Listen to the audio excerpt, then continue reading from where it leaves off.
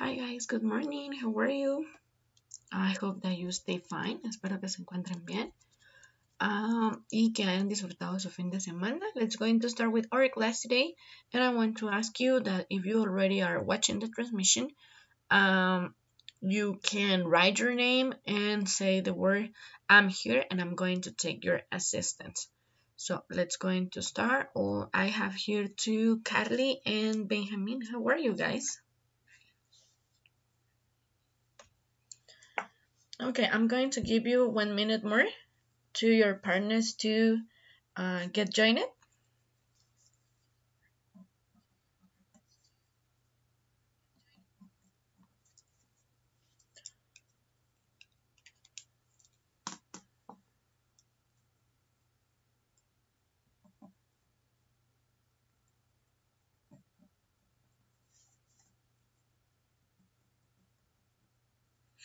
Okay, also I have here too Alejandra, Daniel, David,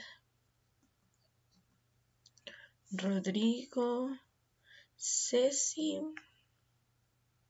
Albino. Okay, hi guys, how are you? It's good to have you here and can see you. Es bueno de verdad tenerlos acá y poder verlos. Um, today we're going to work about directions, right? As you can see in our title, uh, this is our seventh week and we are going to talk about directions. Um, I hope that you can watch your your brochure. So if you have questions, you can do it today, okay? Uh, también tengo acá a Edri, ya se unió Edri. Hi Kimberly, how are you? Okay, let's go to start with the class, but before I want to tell you important information. Antes de empezar la clase quiero eh, contarles información importante. Uh, I want to say congratulations. Quiero decir felicidades a los chicos que se unieron al Spelling ya.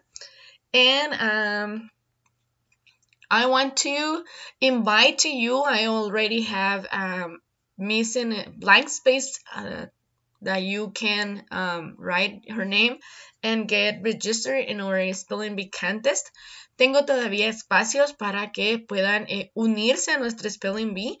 Uh, como ustedes saben, va a dar inicio el 27 de, julio, ¿verdad? Y este, pues, para quienes ya pudieron unirse y para los que quieran unirse, quiero compartir con ustedes una información eh, importante. I want to say that you are going to get free about two homeworks para los que ya se inscribieron o para quienes quieran inscribirse. Eh, les comento que van a quedar libres de dos tareas. Quiere decir que por dos semanas ustedes no van a entregar tareas, sino que ya tienen los punteos eh, asignados. Eso es para quienes ya se inscribieron y para quienes quieran inscribirse al Spelling Bee. Ok, entonces congratulations for the one that already get registered and the ones that want to do it uh, you know you have to send to me a direct message by ClassDojo or an email with your whole name and your email address direction entonces quiero felicitar a quienes ya se unieron y quienes aún no lo han hecho y quieren participar. Eh, les comento que deben enviarme un correo electrónico a, o un mensaje privado por medio de ClassDojo con su nombre completo y una dirección de correo electrónica válida para que puedan eh, recibir las instrucciones. Repito, esto es solamente para quienes ya se inscribieron o para quienes vayan a inscribirse al Spelling Bee. Van a tener libre dos semanas de tareas. O sea, esta semana que es la semana del 13 al 17, em, si no estoy mal, y la semana siguiente de la semana del 20 eh, al 25. Entonces, para que ustedes puedan tomarlo en cuenta, ¿verdad? Entonces, eh, queden en espera de sus eh, mensajes, ¿verdad? Para que ustedes puedan unirse. So, let's go to start with our class today. We have directions. Tenemos direcciones. But first, I want to share with you a phrase. Uh, solo voy a tomar una asistencia. Hi, Lucy. How are you? Ok, ahora sí. Eh,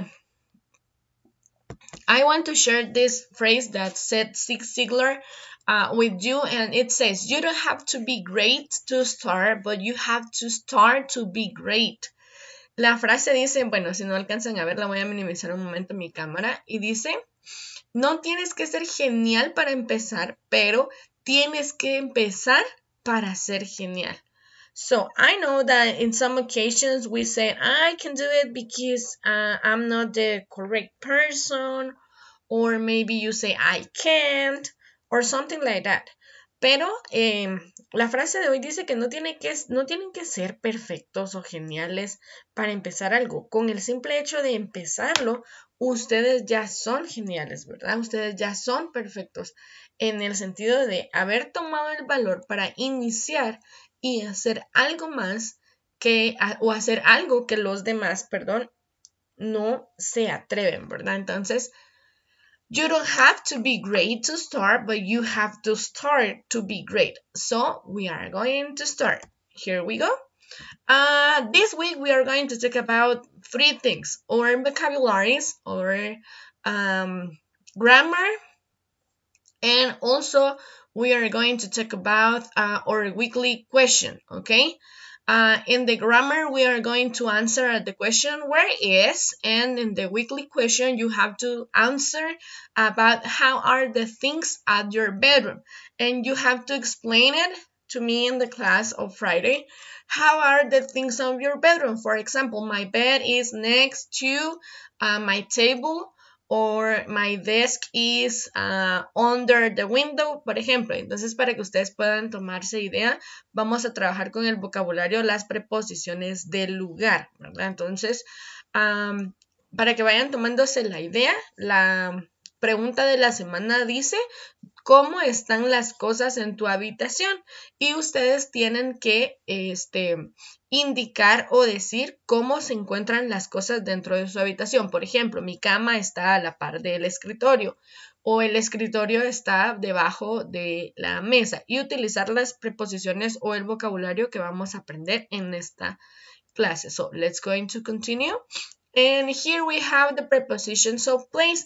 You can find this vocabulary on your brochure, also in your um, in your student book and also if you want it you can go to the platform and look it for the platform on internet right entonces este vocabulario lo podemos encontrar en su folleto en su libro de estudiante o bien lo podemos encontrar también en su este plataforma si ustedes desean acceder a la plataforma igual pueden buscar su libro digital y ahí lo pueden encontrar Uh, first we have through the pipe. El primero que tenemos es through the pipe, que es a través de la pipa o a través del tubo en este caso, ¿verdad? Pero we are going to use through. Uh, that means a través de, o sea, atravesar el lugar, ¿verdad? O eh, el objeto del que estamos hablando. Number two is around the box. El número dos es alrededor de la caja, around the box. En este caso, as you can see, we have a frog jumping or doing the things uh, in a box, right? Or stairs or a pipe. But you can use it and, uh, with all the things. En este caso tenemos las eh, las preposiciones o el ejemplo demostrado con una ranita, ¿verdad? Corriendo o haciendo las cosas alrededor, dentro o fuera de una caja, gradas o un tubo. But you can use this, pero ustedes pueden utilizarlo, eh, o sea, estas preposiciones con cualquier eh, otro lugar, ¿verdad? O, con cualquier otro eh, objeto. You can talk about your dog, you can talk about your cat, Also, you can talk about a people that he is going around the house and another objects, ¿ok? Entonces pueden ustedes hablar acerca también de personas u otros objetos. I'm going to make a review. The first one we say that is through the pipe, a través del el tubo, ¿verdad? O, o en medio del tubo. The next one is around the box, alrededor de la caja. The number three is into the box. That means that está dentro de la caja, ¿verdad? Into the box. The number four is uh, out of the box. That means that está saliendo de la caja o está fuera de la caja. The next one is around the box. Eh, sorry. The next one is over the box. La siguiente es sobre la caja, ¿verdad? O sea, está saltando encima de la caja. The number uh, six is under the box, que es debajo de la caja. Y de la siguiente es up the steps, subiendo las gradas, or down the steps, bajando las gradas. For example, if I ask you, si les pregunto a ustedes, when we were at classes uh, at the school, not virtual nor online classes, uh, where is the store? Si yo les pregunto cómo llego a la tienda, ¿cuál de estas utilizarían para decirme cómo llegar a la tienda? Ok, I'm going to read your answers. Voy a leer sus respuestas. Uh, bienvenido Alejandro, how are you? Ok, entonces, si yo les pregunto, how can I go to the store or how can I get to the store? ¿Cómo puedo llegar a la tienda? Cuando estábamos en el colegio, what of these uh, prepositional place could you use to tell me? ¿Cuál de estas podrían ustedes eh, utilizar para para llegar a la, para decirme cómo llegar a la tienda.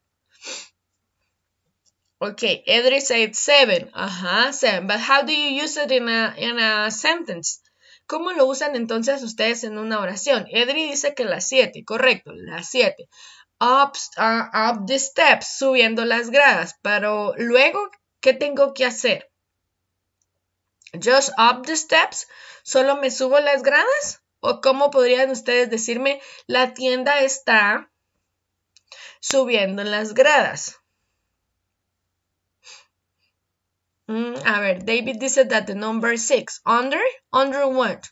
And also también podemos utilizar under. You can say, the story is under uh, ninth grade class. La tienda está debajo de la clase de noveno grado. En este caso, sus compañeros de tercero básico, ¿verdad? Uh, also, you can say you can go to the store uh, up the steps, subiendo las gradas, ¿verdad? Entonces, that's correct. Let's go into, uh, I don't know, do you have questions about this? ¿Preguntas o dudas con respecto a, a esto?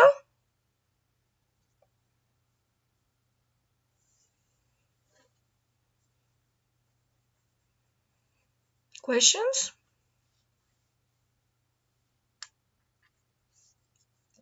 Okay, if you don't have questions, uh, we on the bleachers, then we cross, we go straight and we arrive. Dice, okay. But bleacher is not like uh. Las bleachers son las escaleras, si no estoy mal, las escaleras que utilizamos para construir, no las gradas como tal, right? Okay, you don't have question. Let's go into advance. Okay, what things we are going to know about this class? ¿Qué vamos a aprender entonces ahora en estas eh, en esta unidad de gramática and how to answer the question where is y cómo eh, responder a la pregunta dónde está. First, we are going to make a review about our pronouns. Primero vamos a hacer un repaso de nuestros pronombres and as you can see we have here I, yo, you, tú o usted, he, él, she, ella, it, lo, we, nosotros, you, ustedes, and they, ellos, and ellas, right? These are our pronouns. You have to uh, try to remember always. Tienen que tratar de siempre recordarlos y tenerlos en mente porque eh, estos sí nos, nos ayudan bastante, ¿ok? Uh, the next one is we are going to know how to write affirmative sentences in past tense. Vamos entonces ahora a aprender a escribir oraciones afirmativas en forma, en forma, perdón, oraciones en forma afirmativa en tiempo pasado, ¿ok? Uh, first, we are going to divide it on three, um, three parts. Vamos a hacerlo para, para que sea más entendible. Vamos a repasarlo en tres partes. Para crear estas oraciones en forma afirmativa necesitamos tres eh, elementos importantes. The first one is going to be the subject. El primero es el sujeto, de quién estamos hablando en nuestra oración. You know that a subject can be a person, an animal, or a thing about the things that we are talking. So you can say I, or you, or Pedro, or Carla, Maria. Also, you can say Toby, uh, or you can say, I don't know. You know, um, it can be a person, an animal, or a thing, ¿ok? Entonces, como pueden ver, un sujeto puede ser, dice, una persona, un animal o una cosa, ¿verdad? Para que entonces podamos ir tomando. Luego, we are going to need a past action. Después vamos a necesitar una acción en pasado. Y nosotros tenemos dos formas de escribir acciones en pasado. La número uno son los verbos regulares. ¿Por qué los llamamos regulares? Porque no cambian de forma, ¿ok? Cuando nosotros lo conjugamos en tiempo pasado. ¿Cómo formamos los tiempos, eh, el verbo, los verbos regulares, perdón, en tiempo pasado? We just add an AD at the end of the verb. Solamente añadimos una ED al final de nuestro verbo, ¿verdad? Entonces, si se dan cuenta, tenemos el primero that say jumped, que es saltó. ¿Verdad? Esta ya está en tiempo pasado. ¿Cómo es el verbo original? Es jump, ¿verdad? Solamente J-U-M-P. J-U-M-P. Pero para hacerlo en tiempo pasado, nosotros utilizamos la I y la D. Entonces, a estos que solo les añadimos estas dos letras, lo llamamos, los llamamos, perdón, verbos regulares. Entonces vamos a ver nuestro ejemplo. Y la siguiente parte importante, nuestra vocabulary word and complement, nuestra palabra de vocabulario y nuestro complemento para la siguiente, ¿verdad? Entonces, the first example say, I jumped on the bed. Yo salté sobre la cama, ¿verdad? I jumped on the bed.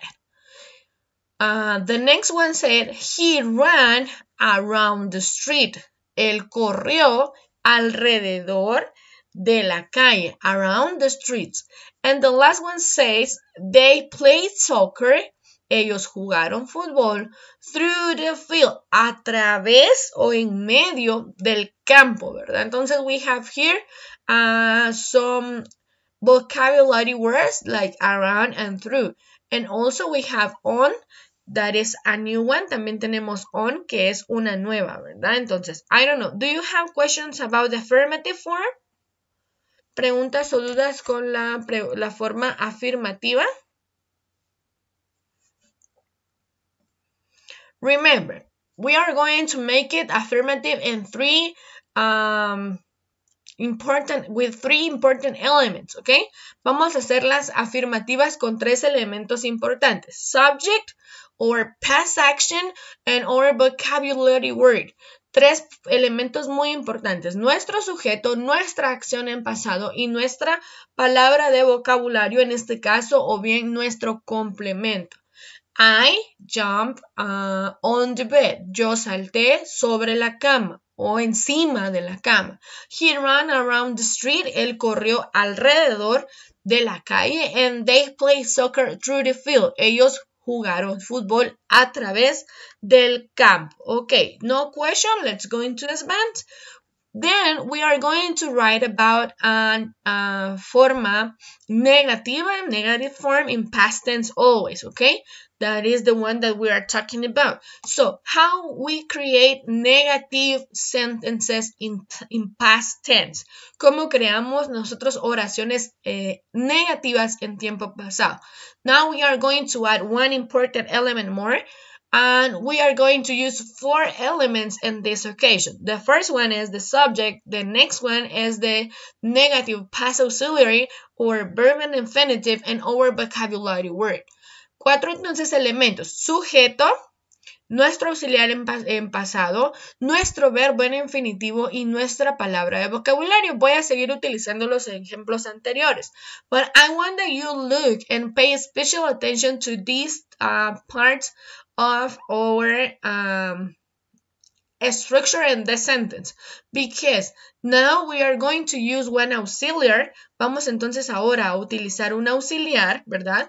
Y nuestro verbo o nuestra main action, nuestra acción principal, va a regresar a su estado original, o sea, a tiempo presente, ¿verdad? Entonces, when we are using one auxiliary for the um, negative sentences or when we are using an, an auxiliary for all the sentences that we uh, write, we have to collocate our main verb in the original form, ¿ok? Entonces, cuando ya usamos un auxiliar, nosotros debemos regresar nuestro verbo a su forma original. So, we have subject, I.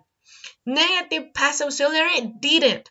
Also, you can write did not, but remember that it's more common to uh, use in English a lot of contractions, right? So, I didn't jump. Our main verb comes to the original form that is present tense and our vocabulary word and our, or our complement. Y nuestra palabra de vocabulario o nuestro complemento on the bed. So, I didn't jump on the bed. Yo no salté en la cama. Remember that the auxiliary is the one that gives to you the idea that it, we are talking about in negative form and in past tense, ¿ok? Entonces, es nuestro auxiliar el que da la idea de que estamos hablando en tiempo pasado y en forma negativa. He didn't run around the street. He él no corrió, ¿verdad? Entonces, uh, this did is the one that made our verb gets in past tense. And this and en apóstrofe T, en este N apóstrofe T es lo que hace que sea negativo, right? So, he didn't run around the street. Él no corrió alrededor de la calle. And they didn't play soccer through the field. Ellos no jugaron fútbol a través del campo. So, as you can see, the main idea, we can find it on the um, negative past auxiliary, right? Nuestro auxiliar negativo en tiempo pasado, ¿verdad? Ah, so, do you have questions about the negative? Can you watch the difference between affirmative and negative form? Pueden entonces identificar o reconocer correctamente las diferencias entre la forma afirmativa y la forma negativa. Remember, if in any moment, if you have questions, you can write on the chat and say, Miss, uh, go slow or Miss, I'm not understanding, ¿ok?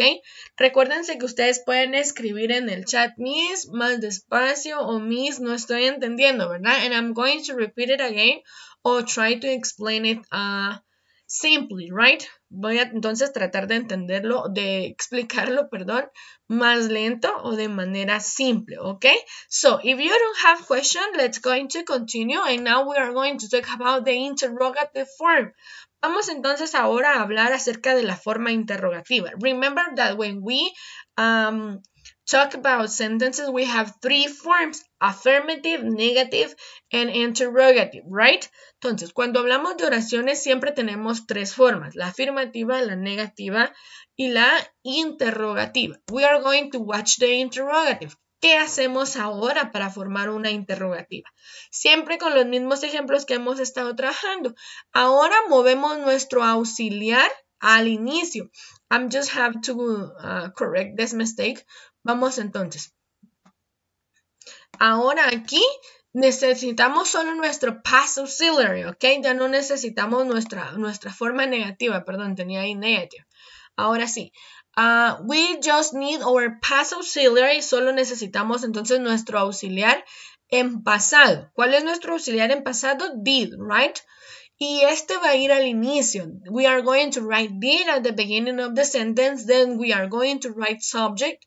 Then our verb in, in infinitive or in original form.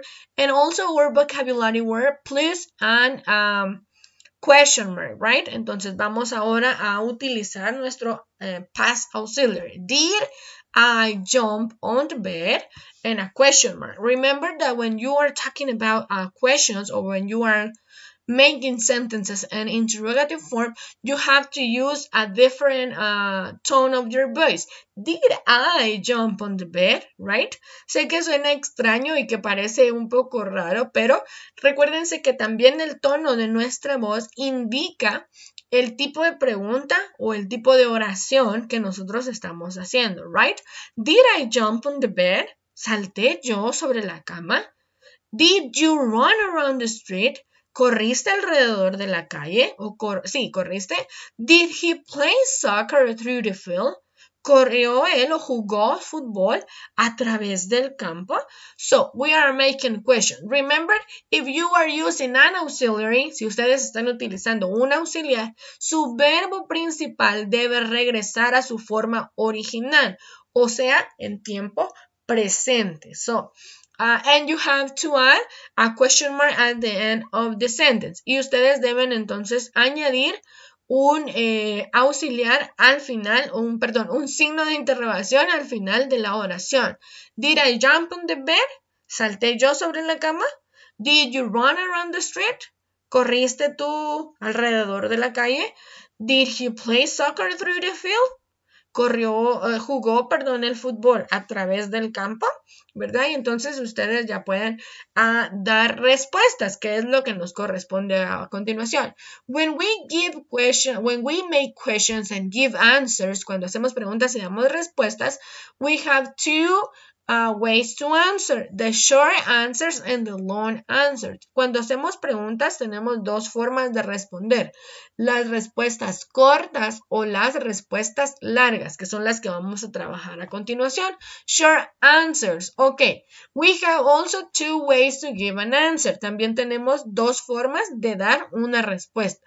La affirmative short answer, la respuesta afirmativa corta, y la negative short answer, la respuesta negativa eh, corta, ¿verdad? En este caso las dos son cortas. Dice, did she jump on the bed? ¿Saltó ella sobre la cama? Entonces we are asking, right? Did she jump on the bed? ¿Saltó ella sobre la cama? Yes, she did. Sí, lo hizo. No, she didn't. No, no lo hizo. I want that you look something important that is that always after the yes or no, you have to write a comma, okay? Una cosa muy importante que no deben olvidar, que es parte de gramática o de ortografía en este caso, es que después del yes o después del no, you always, ustedes siempre tienen que escribir una coma, right? Yes, coma, she did. No, coma, she didn't. Sí, ella lo hizo o no, ella no lo hizo. Did they run around the house? ¿Corrieron ellos alrededor de la casa? Yes, they did. No, they didn't. Sí, ellos lo hicieron. No, ellos no lo hicieron. Y the last one said, Did I play soccer through the field? ¿Jugué yo fútbol a través del campo? Yes, I did. No, I didn't. So, I don't know. Do you have questions about the affirmative, negative, or interrogative and the short form questions? No sé, preguntas, dudas, entonces, algo que no hayan entendido. About this.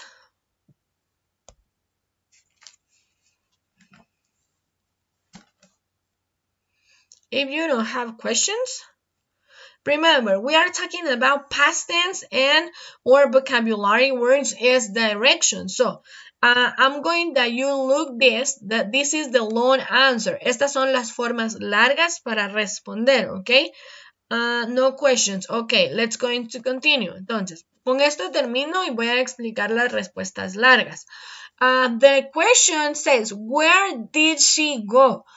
Vean, aquí eh, tengo marcado en color rojo, si alcanzan a ver, la palabra word. That is a, WH question or a question word. Esta es una palabra de pregunta. ¿Por qué está en color rojo? Porque esta es la que nos va a dar a nosotros la pauta para poder responder de forma larga. Where did she go? ¿A dónde fue ella? Entonces, estamos hablando de lugar, ¿verdad? Y entonces ya podemos decir, she went down the steps. Ella fue bajando las gradas o ella se bajó las gradas, ¿verdad? Where did they go? ¿A dónde fueron ellos? They ran around the house. Ellos corrieron o fueron a correr alrededor de la casa, ¿verdad? Where did he go? ¿A dónde fue él? He went jumped over the tree. Él fue a saltar encima del árbol, ¿verdad? Entonces, uh, when we use the long answers, we have to use the question or the word question, the question word where.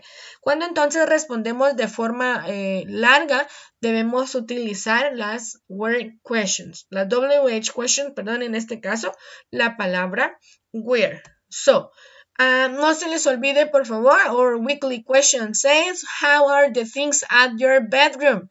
¿Cómo están las cosas en su habitación?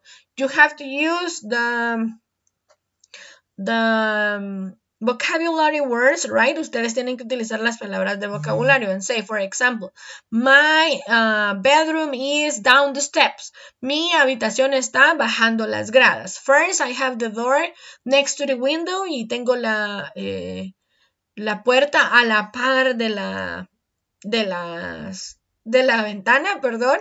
Uh, also, I have a table uh, over my bed, por ejemplo, tengo una cama por encima de mi mesa, o no sé, you have to look the things on your bed and you have to use it and you have to uh, explain how are the things on your bed, right?